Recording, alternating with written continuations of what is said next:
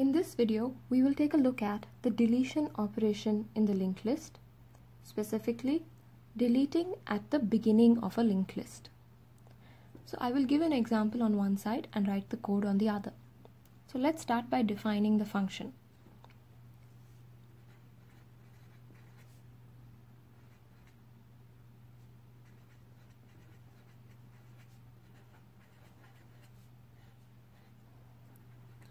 I'm naming my function delete beg or delete beginning. I will have no input parameters and I'm going to return the node at which I will delete.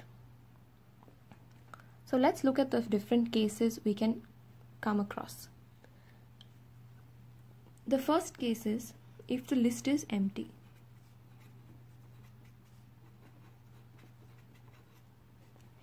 So when the list is empty, we don't have any element to delete. In such a case, we don't want to continue with our function and we would like to return. So let's write the code for that condition.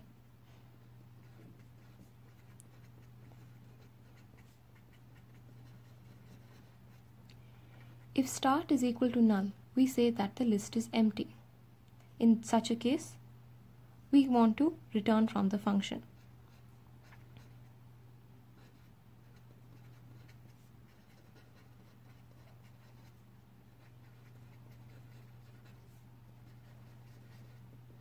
I am returning null because I have defined the return type of this function as type node. And since I cannot find any node to delete, I'm going to return a null value. With that, we have seen our first case when we try to delete from the beginning. The second case is we are deleting the last element. That is, there is only one element remaining.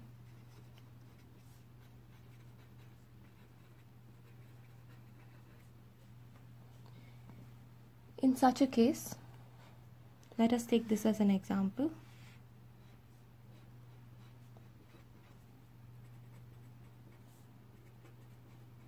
This is the single node which is remaining. This is equal to the start and this is also equal to the end. When we want to delete this last element, then we need to reset both the start and the end pointers back to null since our list is becoming empty once again. So let's write this. If start is equal to end, in such a case, the first thing I must do is I need to store the element which I want to delete in a variable, say x. So I'm going to create a node x and then I will store the node which I want to delete in this variable. After this, I will reset the start and end pointers.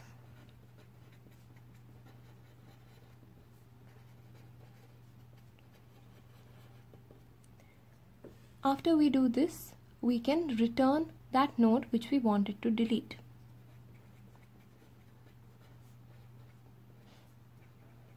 With this, we have taken care of the second case as well. Now we come to the third case. When we delete from the beginning of a list which is longer than one element. So let me write that.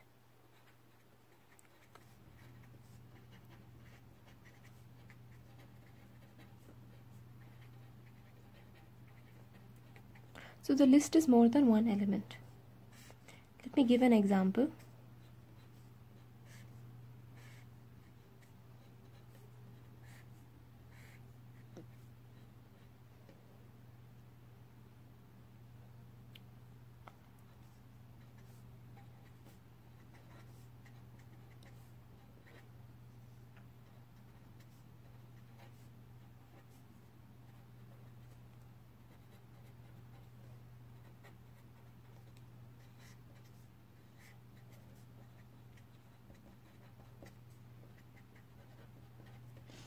So in this case, I want to delete the first node.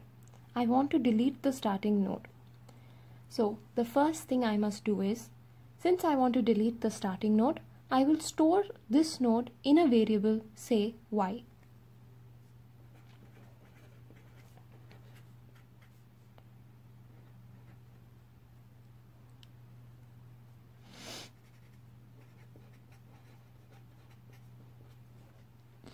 So I'm going to store the starting node in a variable y. After I do this, I need to delete this node. What do I mean by that? The first thing I need to do is I need to set this start to the new node which I want to consider as start. So I'm going to remove start from here and I'm going to make this equal to start. So how I'll do that is start is equal to start dot next.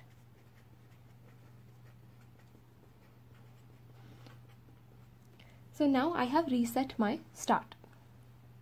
Now in this node I don't want my starting node to point to anything in its previous address. That means I don't want any node to precede start. So I will remove the value which is now at the previous of my start and replace it with null.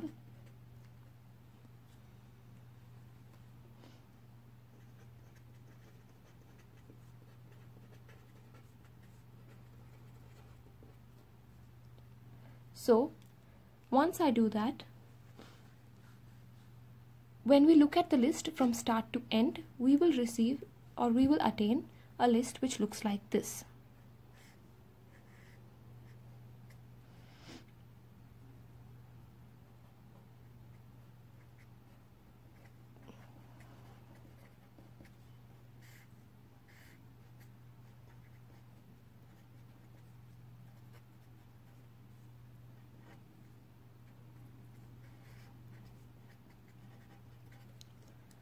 So in this case, we have successfully deleted the beginning node of the list. So now we can return the element or the node which we have deleted. We can return y and with this we come to the end of our function.